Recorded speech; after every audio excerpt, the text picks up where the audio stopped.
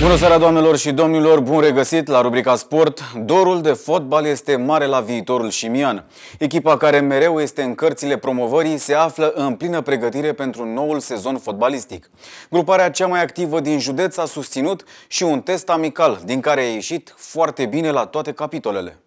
Se împlinește aproape un an de când nu s-a mai jucat un meci oficial în Mehedinți, iar echipele sunt nerăbdătoare să simtă din nou gustul competițiilor oficiale și pulsul derbiurilor. În lipsa unui adversar pe plan județean, viitorul șimian își măsoară forțele în afara județului. Duminică, gruparea de Liga a patra s-a deplasat în județul Dorj pentru un test amical cu CS Cârcea. Fotbaliștii pregătiți de Dorian Vasilică au arătat pofta de fotbal și totodată de goluri, în condițiile în care s-au impus cu 8 la 1.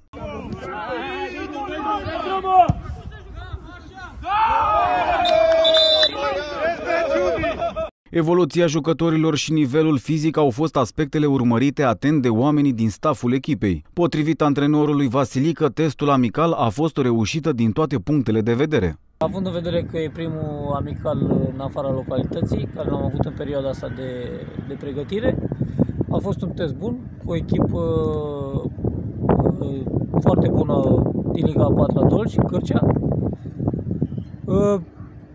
Uh, S-a văzut nivelul nostru de pregătire, care îl avem mai de mult față de, de echipa aceea, dar uh, nu m-a interesat rezultatul, m-a interesat uh, să se omogenizeze puțin echipa, să vedem uh, implanturile cele noi care le-am adus la echipă și din ce am văzut pe ansamblu este, este spre bine. Fosta campioană de la Mehedinți din 2018 își construiește cu atenție fiecare pas pentru atingerea noilor ținte. Câștigarea campionatului și apoi atacarea promovării în Liga a treia sunt obiectivele urmărite de toți cei implicați în proiectul de la viitorul șimian. După cum am zis și când am ajuns aici de la cetate, acolo am terminat un ciclu de 4-5 ani și din câte am discutat cu domn primar aici la, la Șimian și cu domnul președinte George Sărăcin, se vor să se facă lucruri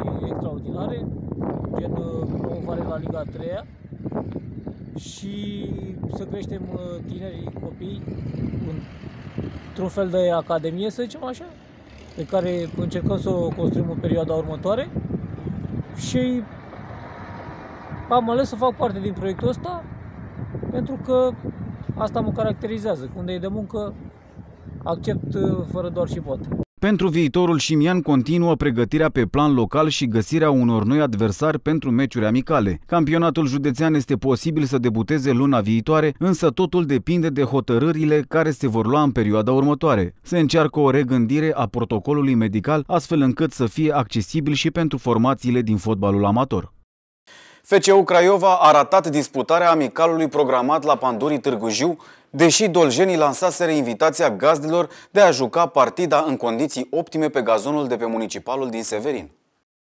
Situație stânjenitoare la amicalul dintre Pandurii Târgu Jiu și FCU Craiova. Duelul programat sâmbătă pe municipalul din Târgu Jiu nu a mai avut loc, deși liderul din Liga a doua a făcut deplasarea până în Gorj. Abia aproape de ora testului s-a constatat că suprafața de joc era înghețată. Varianta de rezervă propusă de gazde a fost terenul sintetic din cadrul complexului sportiv municipal, însă Ovidiu Stângă a declinat din start posibilitatea de a juca pe un teren sintetic. Imediat doljenii au făcut cale întoarsă la Craiova, dezamăgiți că au pierdut vremea pe drum, fără să dispute penultimul amical înainte de reluarea campionatului. În plus, craiovenii propuseseră ca acest joc să se dispute la Severin, dar au primit asigurări că totul este organizat organizat pe arena nou construită. Zilele viitoare, Craiova are stabilit un ultim amical cu Sporting Roșiori, detalii despre locație și dată nefiind încă stabilite.